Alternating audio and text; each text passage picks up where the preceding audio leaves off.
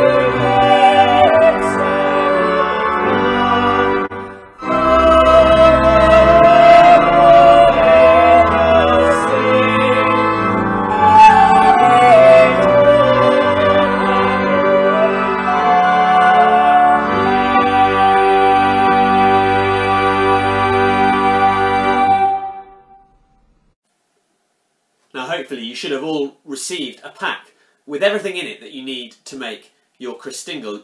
You'll need to have that with you now.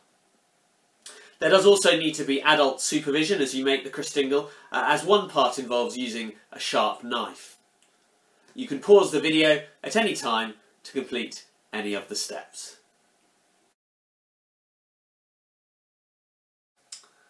For our first step, you'll need your orange and your red ribbon. The orange is big and round and heavy, just like our planet.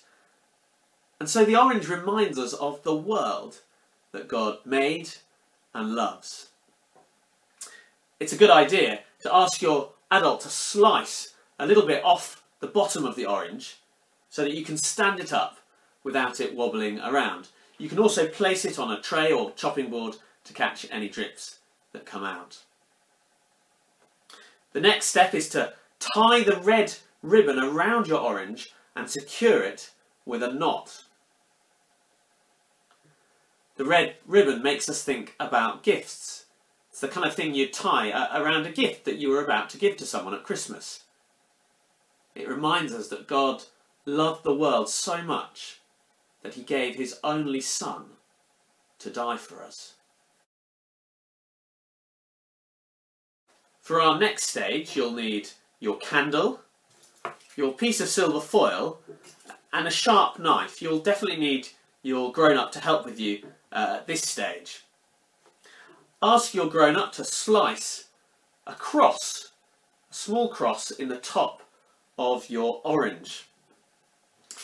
Then lay your small square of silver foil on top of the cross. This is to stop the wax from running down once your candle's lit.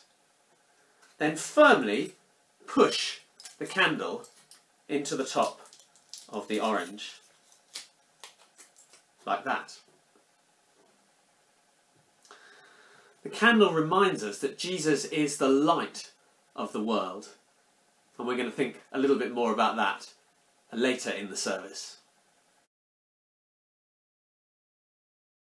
And now the bit you've all been waiting for, the sweets. For this part you'll need four cocktail sticks and your packet of sweets. Again, maybe with the help of a grown-up, push two of the sweets onto each of the four cocktail sticks like that. Then push each of the four cocktail sticks into your orange, like this.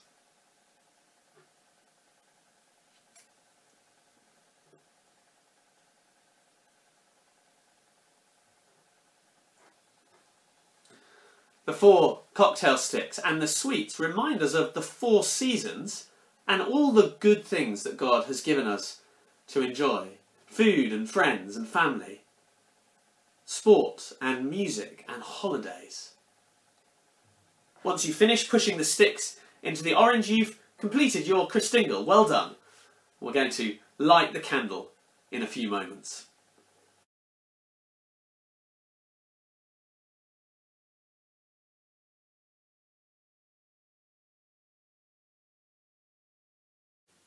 In the beginning was the Word, and the Word was with God, and the Word was God. He was with God in the beginning. Through him all things were made, and without him nothing was made that has been made. In him was life, and that life was the light of all mankind. The light shines in the darkness, but the darkness has not overcome it. Well, I'm here in Barchester Church, and as you can see, it is very, very dark. The only light I have is the candlelight from the Christingle. Can you see the way? The light from the candle drives the darkness away. Now, if we're being honest, it's been a pretty dark year, hasn't it? What with the coronavirus? It's been a difficult year. But now, just in the last month, we've heard the wonderful hope uh, that a vaccine has now been developed and has started to be given to people in this country. That was a small little bit of light at the end of a very dark year. But for the Christian, there is a greater hope, a brighter light, even than that of the coronavirus vaccine. That light is Jesus.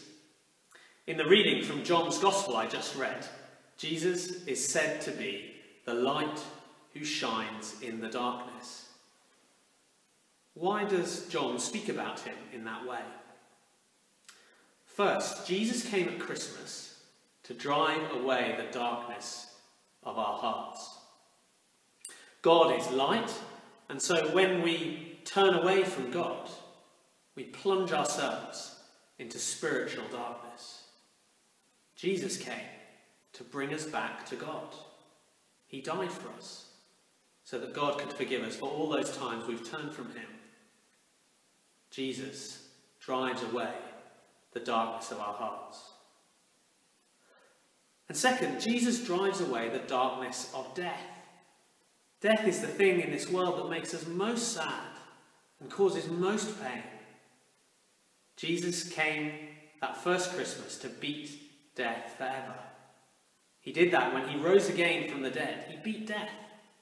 And now he offers life to all who trust in him. Jesus drives away the darkness of death. So that's why Christians call Jesus a light shining in the darkness, because he drives away the darkness of our hearts and he drives away the darkness of death. Jesus drives away our darkness. And the light and hope that he brings, nothing can overcome. If you're interested in finding out more about Jesus, the light in the darkness, um, do look at the printed sheets of paper I've given you in your Christingle packs. They're a copy of the true story of Christmas from the Bible. Kids, why don't you get your grown up to read that to you? Uh, for grown-ups, there's also a short leaflet uh, that talks about Christmas hope in a COVID world. As we finish, let's sing our final carol.